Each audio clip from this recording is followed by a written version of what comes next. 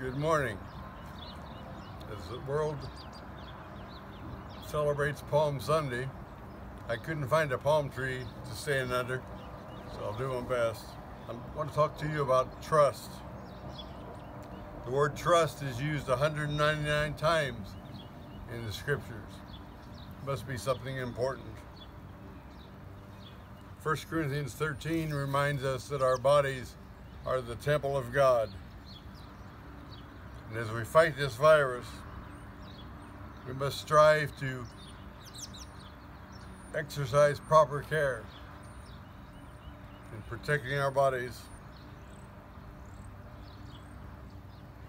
Matthew 6 tells us a little bit about the things we worry about. So do not worry, saying, What shall I eat? Or what shall I drink? Or what shall I wear? The Lord will take care of us if we trust Him.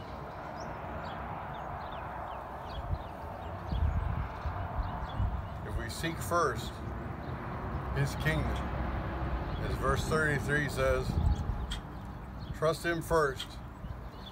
Seek first His kingdom and His righteousness and all these things will be added unto you.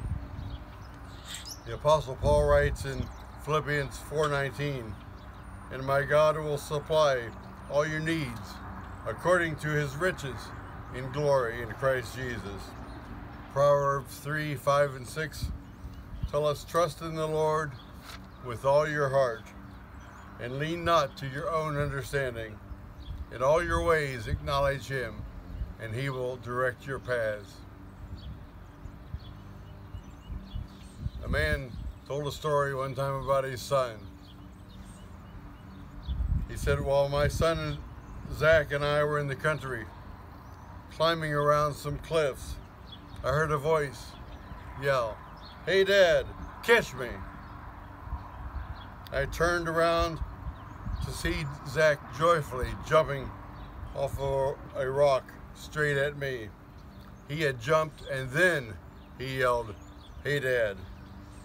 I became an instant circus act, catching him as we both fell to the ground. I gasped in exa exasperation. And I said, Zach, give me one good reason why you did that. He responded with remarkable calmness.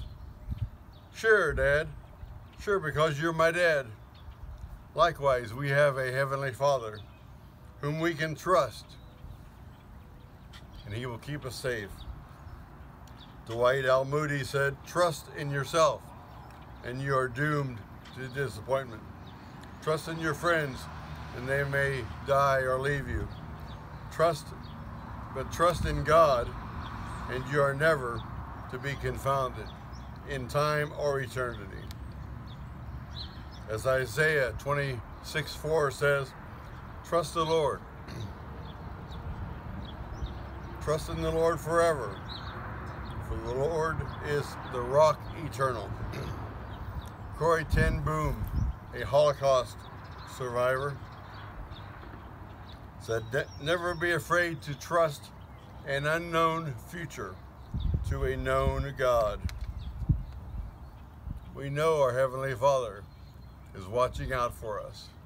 We can trust in Him. Someone said, when a train goes through a tunnel and it gets dark, you don't throw away the ticket and jump off. You sit still and trust the engineer. That's what we must do in these trying times.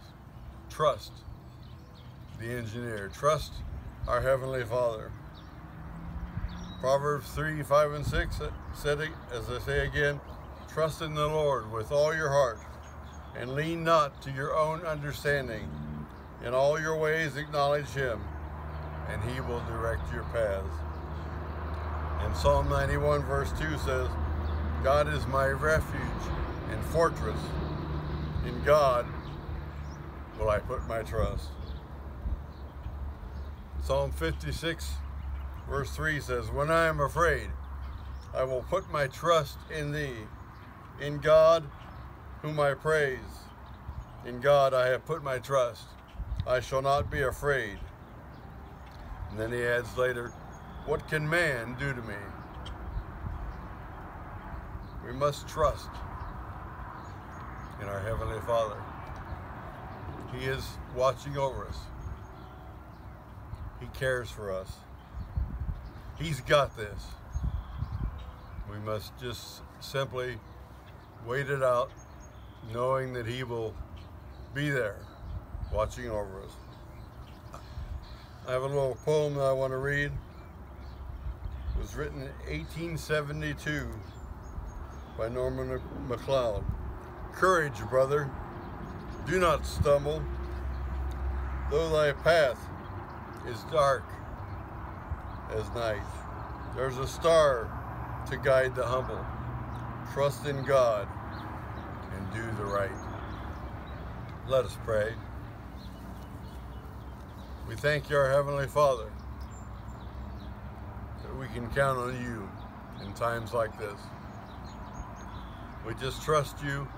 We know there have been difficult times before that you have brought us through as you will bring us through this. Watch over us.